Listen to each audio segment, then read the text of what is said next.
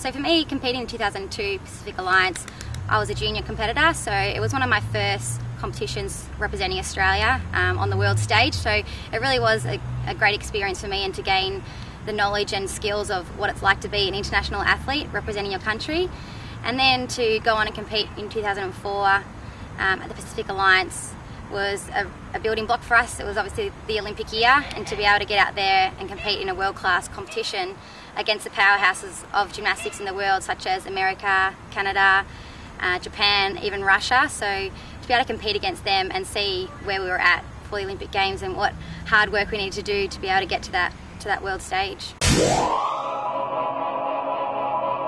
In 2004, I was a senior competitor, and the competition was four or five months before the Olympic Games, so it was obviously a great preparation for us to see where we stood throughout the world competition. So, in a team event, we finished behind the USA and above China and Canada. So, for us to realise that's where we were at the world at that stage was really great experience for us, and we knew we still had a lot of hard work to do. So, we went back home and, and worked even harder to, um, to lead up to the Olympic Games.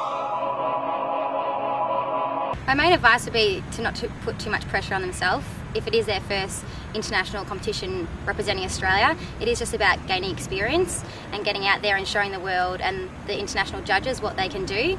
And also just learning off the senior gymnasts of even preparation for competitions and, and how to prepare on the day um, is just something that they will be able to learn so much from the senior girls on the team.